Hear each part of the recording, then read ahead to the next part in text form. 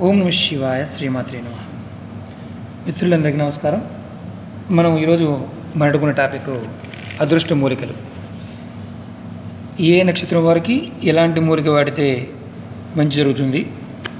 వారి వారి యొక్క నక్షత్రాన్ని విధి విధానంగా కనుక ఈ మూలికలు తీసుకుంటే ఆ చెట్టు నుంచి ఎలాంటి ఫలితాలు ఉంటే మాట్లాడుకుంటున్నామండి ఇప్పుడు మనం మఖా నక్షత్రం వారికి సంబంధించిన అదృష్ట మూలిక గురించి మాట్లాడుకుందాం. ఇది మర్రి చెట్టు అండి. మరి అక్కడ చూడండి. ఇది మీకు ఎక్కడైనా దొరుకుతుంది. ఈ మర్రి చెట్టుని మంగళ బుధ గురు శనివారాల్లో మకా నక్షత్రం ఉన్న రోజున సేకరించాలి. మళ్ళీ ఒకసారి చెప్తానండి ఇది. మకా నక్షత్రం వారు మర్రి చెట్టు ఉత్తరం వైపు వేరుని విధి విధానంగా పూజ చేసి మంగళవారం నాడు కానీ బుధవారం నాడు కానీ గురువారం నాడు కానీ శనివారం నాడు మకా నక్షత్రం వచ్చే రోజున సేకరించి దీన్ని తావీజులో పెట్టుకొని ధరించినట్లయితే కనుక కేతు మహర్షి జరుగుతున్న వారికి ఇది అదృష్టాన్ని కలిగిస్తుంది. ఓడీరం కంటే కూడా బాగా అద్భుతంగా పనిచేస్తుందని శాస్త్రం చెబుతుంది. మళ్ళీ ఒకసారి రిపీట్ చేస్తాను. ఎందుకంటే స్పీడ్గా చెప్తున్న కొంతమంది మిత్రులు అంటున్నారు. మళ్ళీ ప్రయత్నం చేస్తున్నాను.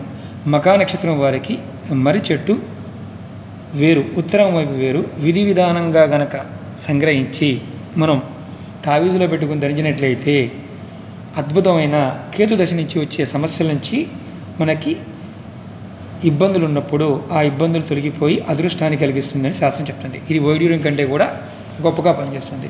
మిత్రులందరికీ నేను ఒకటి చెప్తున్నాను. ఇవన్నీ కూడా నేను జ్యోతిషాస్త్ర మంత్రయంత్ర శాస్త్రాల్లో మనకి అదృష్టాన్నిచ్చే రత్నాలు గురించి పండితులు చెప్పడం జరిగింది. అలాగే సామాన్య మానవులకి అందుబాటులో ఉంటే కొన్ని అంటే రత్నాలు అందుబాటులో ఉండవు. వారికి మన ఋషులు మన పూర్వీకులు ఈ మొక్కల గురించి అవడం జరిగింది. అందుట్లో ఒక్కొక్క నక్షత్రానికి ఒక్కొక్క మొక్క గురించి అవడం జరిగింది. ఆ మొక్కల గురించి నేను చెబుతూ చెప్పే ప్రయత్నం చిన్న ప్రయత్నం చేస్తున్నాను. ఇది మూలికల నుంచి మనకి ఆయుర్వేదంలోనూ అలాగే తంత్రశాస్త్రంలోను యజ్ఞయాగాదుల్లో కూడా మూలికలు విరివిడిగా వాడేవారు. ఆ పరంపరలోనే ఈ శాస్త్రం గురించి చాలామంది రాయడం జరిగింది. నా చిన్న ప్రయత్నం ఏంటంటే ఒకసారి అందుబాటులో ఉన్న మొక్కల్ని చూపించి నాకున్న నాలెడ్జ్లో నాకున్న జ్ఞాన పరిధిలో చిన్న ప్రయత్నం మాత్రం చేస్తున్నాను. తప్పులుంటే క్షమించండి. ఎందుకంటే ఇది కూడా ఎందుకంటే నేను పూర్తిగా ఈ చదివిన తర్వాత మాత్రమే చేస్తున్నాను. కొన్ని అనుభవపూర్వకంగా మూలికల్ని నేను తీసుకొచ్చి నేను ఉపయోగించిన తర్వాత చెప్పడం జరుగుతుంది.